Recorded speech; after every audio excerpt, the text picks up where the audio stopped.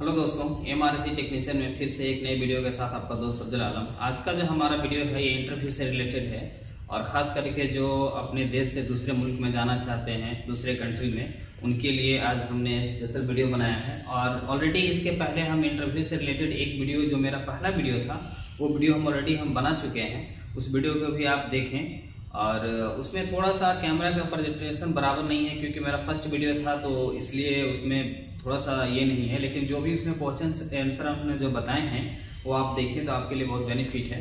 तो आज भी हम कुछ आपको इंटरव्यू से रिलेटेड बताने वाले हैं। जैसा आपको मालूम है कि हमारा एयर कंडीशनिंग का जो है, तीन फ़ील्ड में काम होता है डोमेस्टिक कॉमर्शियल और इंडस्ट्रियल तो आज हम तीनों टॉपिक से रिलेटेड हम, आपको हम जो है, कुछ क्वेश्चन एंड आंसर आपको बताने वाले हैं कि इंटरव्यू में आपसे क्लाइंट किस हिसाब से पूछेगा। समझ गए? जैसा कि हमने पीछे देख रहे हैं, आप बोर्ड पर कि बहुत सारा हमने क्वेश्चंस लिखे हुए हैं। हम इसका एक्सप्लेन करेंगे एक एक करके। और और दूसरी बात यह है कि ऑलरेडी हम गल्फ कंट्री में हैं तो हमें आइडिया है कि किस हिसाब से क्लाइंट इंटरव्यू लेता है, क्योंकि हमने भी बहुत सारे इंटरव्यू फेस किए। तो हमको आइडिया है और बहुत सारे हमने दोस्त को इंटरव्यू का कुछ तैयारी करा करके बताया तो उसके बाद उन लोगों ने भी क्या कहते हैं आउट ऑफ़ कंट्री में काम कर रहे हैं।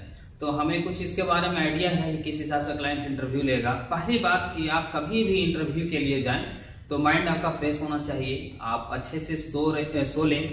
बिफोर जो आप नाइट नेक्स्ट डे आपका अगर इंटरव्यू है तो आप अच्छे से स्लीपिंग करें, ठीक है? और दूसरी बात कि कभी भी आप जो है जीन्स और टी शर्ट इस तरह का कपड़ा पहन करके ना जाए तो बेहतर है। आप फॉर्मल शर्ट पहन करके जाएँ। समझ गए? जिसमें थोड़ा देखने में लुक वाइज आप अच्छा लगे। तो कभी भी आप, जब क्लाइंट के पास जब जाने का कोशिश करें तो बिफोर आप क्या कहते हैं परमिशन लें अंदर जाने से पहले। जिस रूम में क्लाइंट बैठा हुआ है, वो आपको अंदर बुलाएगा तो फिर आप उसके बाद जाएँ। फिर जाने के बाद थोड़ा वेट करें ऑलरेडी बोलेगा बैठने के लिए तो आप बैठ जाएँ। ये होता है रेस्पेक्ट देना, समझ गया अभी उससे कोई इशू नहीं है, आप बैठ भी बढ़ जाएँगे तो कोई ये नहीं है। लेकिन क्लाइंट उस चीज़ को थोड़ा एब्जॉर्व करता है। कि बंदा कैसा है, क्या इसका बिहेवियर है, समझ गए ना? उस चीज़ को भी माइंड में रखता है, क्यों आपके लिए वो यहाँ से उठा करके समझिए तो अपने कंपनी में लेकर के आ रहा है तो इतना तो एब्जॉर्व करेगा तो खासकर ये सब पर ध्यान देता है और आपका जो रिज्यूम होता है ना बायोडाटा उसको थोड़ा अच्छा से बनाए फ़र्स्ट पेज जो है, उसको मतलब सब चीज़ को, उसको फ़र्स्ट पेज में डिटेल्स निकल जाए, और बाकी एक दो पेज और रहता है तो उसको, उसमें आप अपना जॉब डिस्क्रिप्शन जो भी है, आप उसको डाल दें, ठीक है? तो इस तरह से आप इंटरव्यू के लिए तैयारी कर सकते हैं। और बहुत सारे दोस्त लोग हमको इसके बारे में बोल रहे थे कि, और मैंने देखा भी यूट्यूब पे कि बहुत सारे लोगों ने बताए हैं इंटरव्यू के लिए, और किस तरह से। तो बहुत, कुछ लोग तो अच्छा एक्सप्लेन किए हैं, लेकिन कुछ लोग बराबर नहीं बताए हैं। एक्चुअल में इंटरव्यू गर्ल्स के लिए बहुत ही डिफरेंस होता है।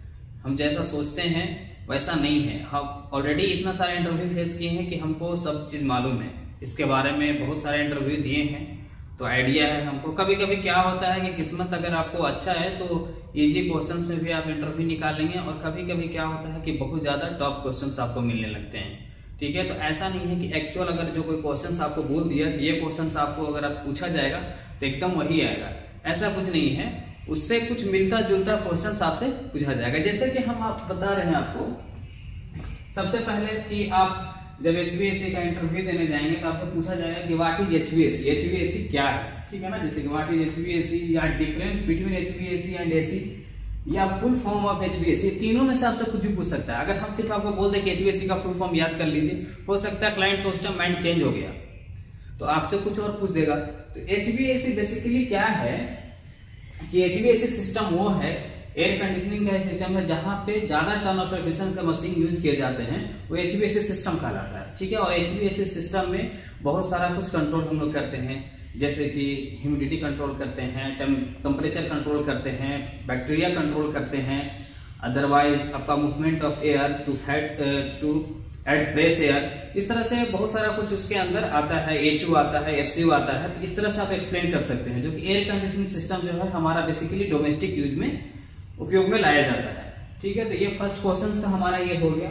अब देखिए यहाँ पे सेकंड क्वेश्चन क्या है? What is the function of compressor in air conditioning system ठीक है ना? मतलब कि ये कह रहा है कि what is the function of compressor in air conditioning system air conditioning system में कंप्रेसर का क्या काम है? ठीक है क्वेश्चन हमारा ये है। देखिए क्लाइंट के सामने आपसे पूछेगा कि आप किस चीज़ में इंटरव्यू देना चाहते हैं? हिंदी में इंग्लिश में। तो आप जिस चीज़ में प्रेफर्ड है, जिस चीज़ में आपको अच्छा लगता है आप उस चीज़ में ही इंटरव्यू दें। अगर आप हिंदी में आप लग रहा है कि हम आप आप कंफर्ट फील करेंगे, हिंदी में आप इंटरव्यू दें अच्छा से समझा सकते हैं। मालूम चला इंग्लिश के चक्कर में आपका पूरा सत्यानाश हो गया। ऐसे आप इंग्लिश में भी इंटरव्यू क्या कहते हैं, दे सकते हैं, अगर आपको अच्छा मालूम है। तो क्यों इंग्लिश में इंटरव्यू देने से क्या है? इंप्रेशन थोड़ा आता है, उसमें सैलरी भी थोड़ा इंक्रीज होता है। लेकिन अगर मान लीजिए इंग्लिश के चक्कर में अगर हम सेलेक्ट ही ना हो तो फिर अच्छा नहीं है। तो अगर मान लीजिए यूरोप कंट्री का इंटरव्यू दे रहे हैं तो उसमें तो कंपलसरी इंग्लिश माँगता है। और दूसरी बात कि आपका पोस्टिंग के हिसाब से, अगर आप सुपरवाइजर इंजीनियर के लिए इंटरव्यू दे रहे हैं ना तो उसमें आपको इंग्लिश तो कंपलसरी मस्ट आना चाहिए।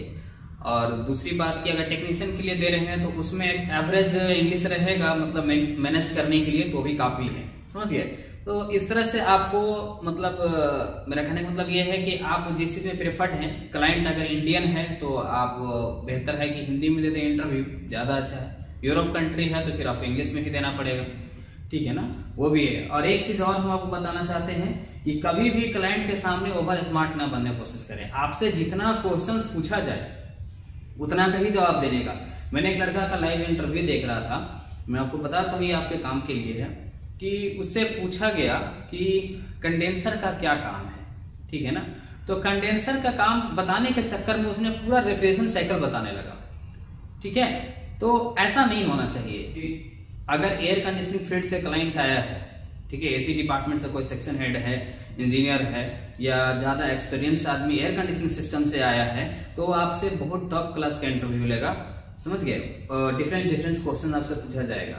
लेकिन ज़्यादातर बेसिकली क्या होता है कि एडमिट डिपार्टमेंट से इंटरव्यू लेने के लिए आता है। जिससे क्या है कि अभी अब आपके लिए सिर्फ़ और सिर्फ़ वो एसी के लिए इंटरव्यू लेने नहीं आ रहा है। एसी चाहिए इलेक्ट्रिकल चाहिए इलेक्ट्रॉनिक्स चाहिए सिविल चाहिए मैकेनिकल चाहिए, जो भी है मतलब उनका बहुत सारा क्या कहते हैं रिक्वायरमेंट रहता है तो वो एक ही बार इंटरव्यू लेने के लिए आते हैं।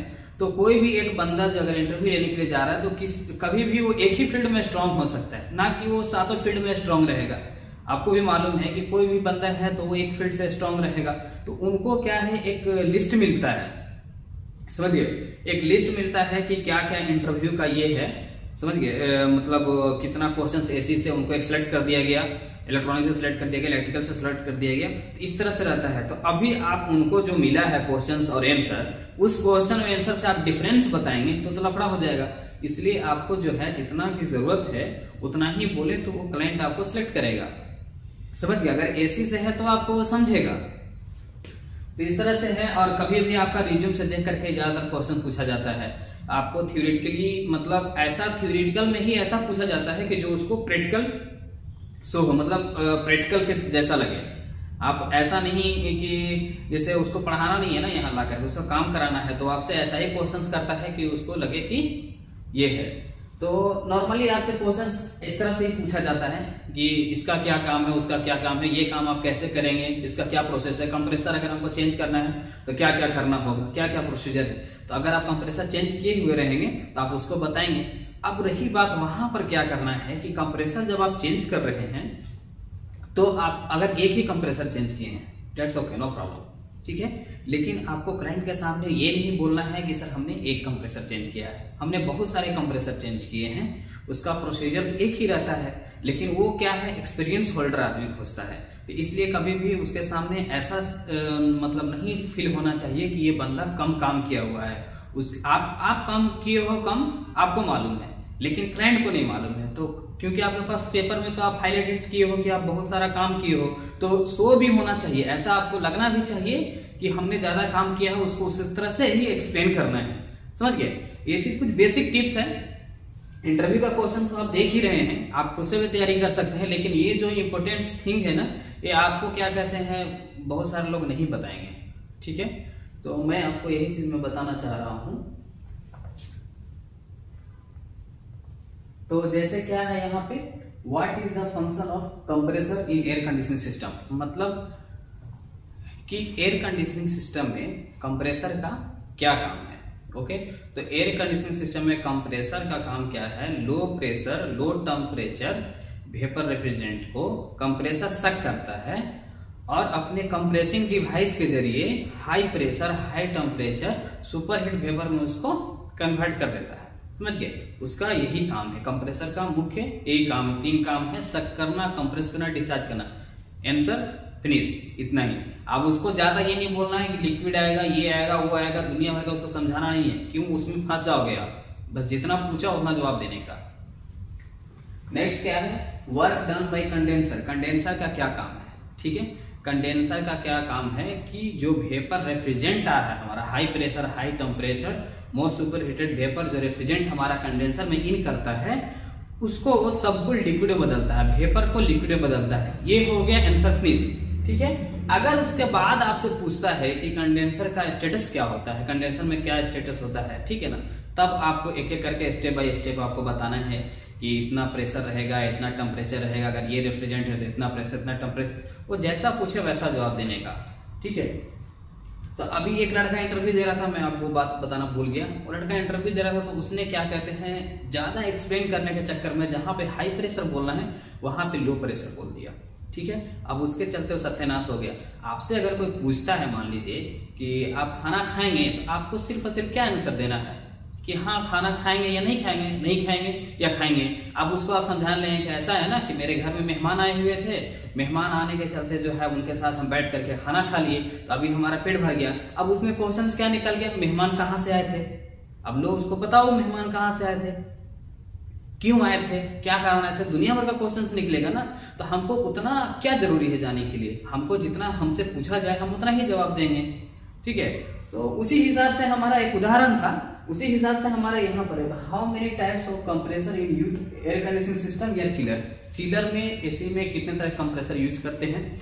इसके ऊपर मेरा पूरा लगभग पाँच दस मिनट का वीडियो है कि जो भी कंप्रेसर है, जैसे कि हमारा अभी पाँच तरह के कंप्रेसर यूज़ करते हैं एसी में। ठीक है? अपना ये हो गया reciprocating compressor rotary compressor scroll compressor screw compressor centrifugal compressor लेकिन सबका मैं फ़ंक्शन अलग अलग बताया हूँ तो वो वीडियो का आप देखें। और जितना भी, लगभग लगभग जितना भी यहाँ पे आप देख रहे हैं क्वेश्चन वो सब का मैं लिंक डिस्क्रिप्शन में डालूँगा। पाँच, दस मिनट का वीडियो है, सब पे आप ज़रूर वीडियो देखें, क्योंकि क्लाइंट अगर हो सकता है, हम वर्क डन बाय कंडेंसर लिखे क्वेश्चन आपसे टाइप्स ऑफ़ कंडेंसर पूछ दे तो आप फंस जाएँगे। इसलिए आप कंडेंसर का भी वीडियो देखें। तो कम से कम एक आप जॉब पा रहे हैं, चालीस हज़ार, पचास हज़ार का आप जॉब लेना चाह रहे हैं। या देखा जाए तो आप जो जैसा आपका पोस्टिंग है, जिस हिसाब से है, आप लाख रुपए का जॉब पाना चाह रहे हैं एक एग्रीमेंट के तौर पे तो आपको एटलीस्ट इतना तो आपको करना होगा ना। उसके बारे में अच्छा तैयारी करना होगा कि क्लाइंट हमसे कहीं से भी क्वेश्चन करे, हम उसके आंसर दें। ऐसा कॉन्फिडेंस होना चाहिए। ऐसा नहीं कि हमने जो क्वेश्चन हम रट करके गए हैं, वही क्वेश्चन हमारे पास मिले तो हम जाकर सिलेक्ट करेंगे।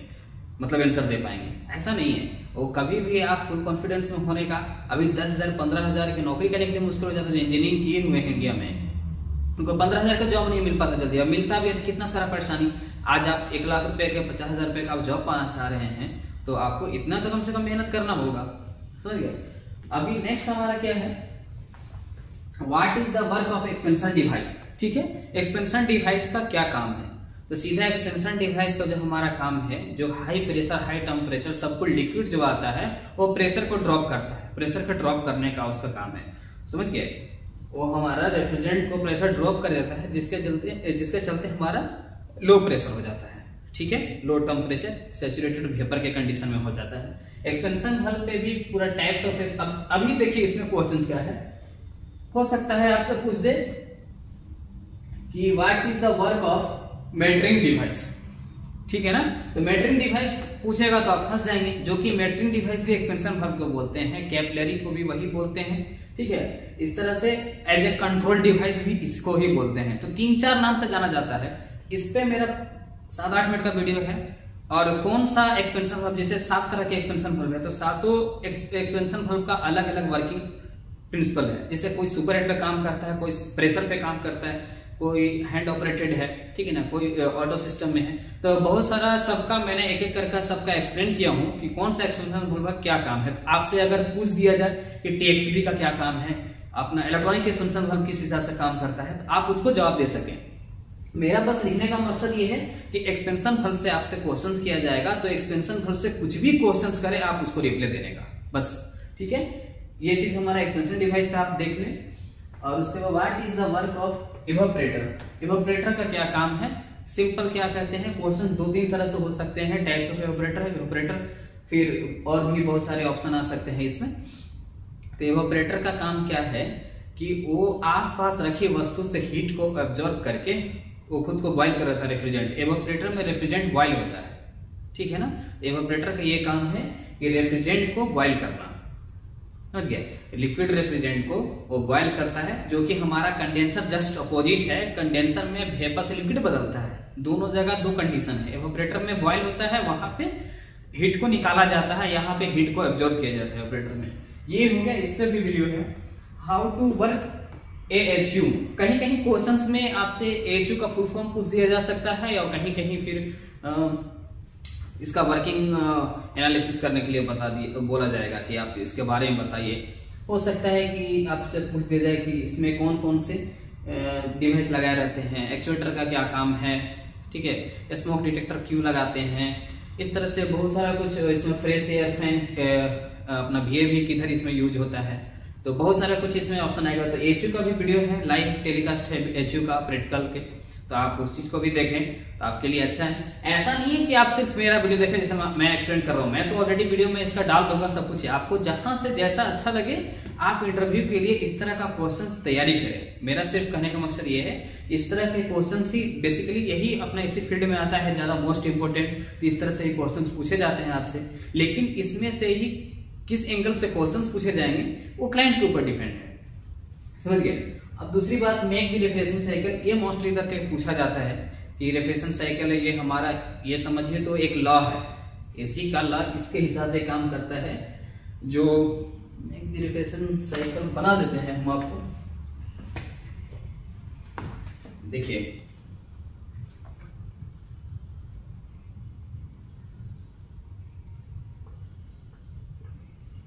ये हमारा, मान लीजिए कंप्रेसर ये हमारा कंडेंसर ये हमारा ये एक्सपेंशन बल्ब, ये हमारा इवापोरेटर ठीक है ना? अब इसमें लाइन अगर मेंशन करने के लिए बोलता है कौन कौन कौन सी लाइन है तो आप बता सकते हैं कि ये डिस्चार्ज लाइन है, ये सक्शन लाइन है ये हमारा लिक्विड लाइन है, ठीक है? ये यहाँ के डायरेक्ट कनेक्ट होने लगता है, समझ गए ना? तो इस तरह से आप इसका भी एक पूरा वीडियो है पूरा एक्सप्लेन किया हुआ अच्छा से। रेफ्रिजरेंट का स्टेटस भी किया हुआ कि 22 का कैसा रहेगा प्लस में 134 कैसा रहेगा। और भी आपसे देखिए, पूछा जा सकता है कि अगर आर ट्वेंटी टू रेफ्रिजरेंट का डिस्चार्ज प्रेशर कितना सेशन प्रेशर कितना, ये इसमें नहीं, मैं पिछले वीडियो में साथ में डाला हूँ। तो वो भी आपसे क्वेश्चन पूछा जाएगा, ठीक है? और next full form of H U F C V A B PPM तो मैं आपको जस्ट बताते चलता हूँ एयर हैंडिंग यूनिट फ़ैन का unit fresh air handling unit ठीक है ना? F H U V A B मतलब variable air volume okay PPM मतलब प्लांट प्रिवेंटिव मेंटेनेंस ठीक है ना? प्लांट प्रिवेंटिव मेंटेनेंस ये हमारा पीपीएम होता है जिससे हमसे भी एक बार क्वेश्चन पूछा गया था पीपीएम के बारे में, कि पीपीएम का कैसे काम है, क्या काम है पीपीएम कितना दिन में आप करते हैं? तो उसमें क्या है पीपीएम जो हमारा monthly quarterly half yearly yearly इस तरह से आता है। वीकली शेड्यूल भी चेक पीपीएम में हमारा आता है चिलर का। ओके ये हो गया। What is R H R H पे मैंने अभी रिसेंट में वीडियो अपलोड किया लगभग। अच्छा खासा उसका टाइमिंग मतलब लंबा वीडियो है, लेकिन बहुत ही इंपॉर्टेंट टॉपिक है। आरएच को मेंटेन करना एयर कंडीशन सिस्टम में, इससे क्वेश्चन लाजिम पूछे जाते हैं आरएच से related okay if the if the room is not cooling then there could be a problem अगर मतलब हमारा रूम ठंडा नहीं कर रहा है तो क्या प्रॉब्लम हो सकता है? ठीक है ना? क्लाइंट ऐसा क्वेश्चन पूछता है कि काम क्या रहेगा तो इसको मालूम रहेगा।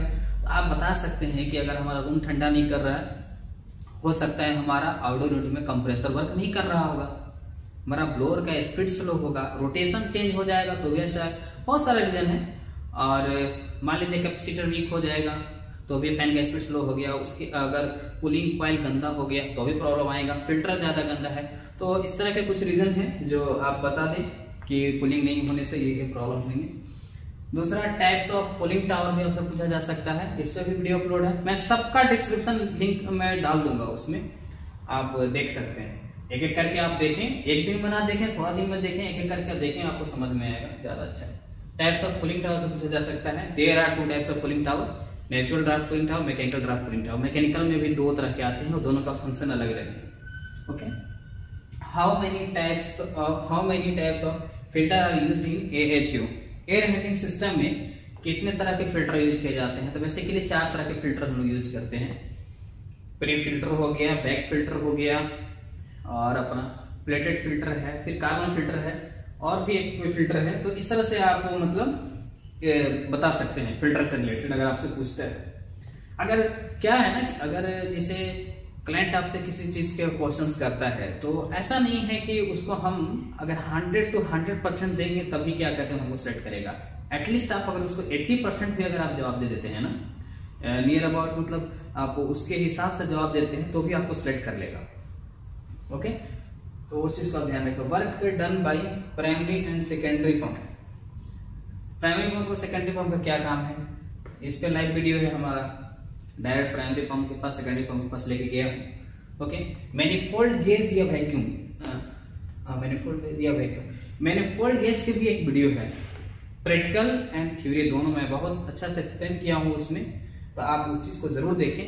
तो आपको समझ में मैनिफोल्ड गेज का जैसे क्या है? बेसिकली यहाँ पर लिखा हूँ मैं बताता हूँ। मैनिफोल्ड गेज मतलब कि जिसमें कंपाउंड गेज और प्रेशर गेज दोनों अगर एक साथ मिक्स है सॉरी दोनों एक साथ लगा हुआ है जिस भाल्व के अंदर, वो हमारा मैनिफोल्ड गेज कहलाता है। अगर कंपाउंड गेज अलग है तो उसको सिर्फ़ कंपाउंड बोलेंगे प्रेशर गेज अगर अलग मिलता है तो उसको अलग अलग दोनों को बोलेंगे। लेकिन दोनों एक साथ ज्वाइंट मिलता है तो वो हमारा मैनिफोल्ड गेज कहलाता है। अब कंपाउंड गेज का क्या काम है प्रेशर का क्या काम है, वो भी क्लाइंट आपसे पूछ सकता है। मेरा सिर्फ़ लिखने का मतलब है कि मैनिफोल्ड गेज से अब वो कुछ भी क्वेश्चन पूछेगा। रीडिंग के बारे में उसके अंदर पूछ सकता है मुझे पूछ सकता है कि इसके ऊपर आप वीडियो देखें। चिलर सेफ्टी डिवाइस अगर चिलर का इंटरव्यू देने जा रहे हैं, ये सब चिलर वाले के लिए कुछ है, जो प्राइमरी, सेकेंडरी सब चिलर में आएँगे नॉर्मली एसी और एचवीएससी में इस तरह के आपको क्वेश्चंस मिलेंगे। अदरवाइज़ क्या कहते हैं, चिलर से रिलेटेड क्लाइंट से आप जिस फ़ील्ड से इंटरव्यू देंगे, उस हिसाब से क्वेश्चन पूछेगा। अगर आप एसी एंड एचवीएससी का इंटरव्यू दे रहे हैं तो उससे हिसाब से क्वेश्चन आएँगे। चिलर से आप अगर इंटरव्यू दे रहे हैं तो चिलर का थोड़ा सा एक्स्ट्रा सैलरी भी लगता है और उसका थोड़ा सा फ़ंक्शन भी ज़्यादा रहता हैं। तो इसलिए उस हिसाब से अलग से क्वेश्चन पूछा जाएगा। चिलर सेफ्टी डिवाइस में क्या है?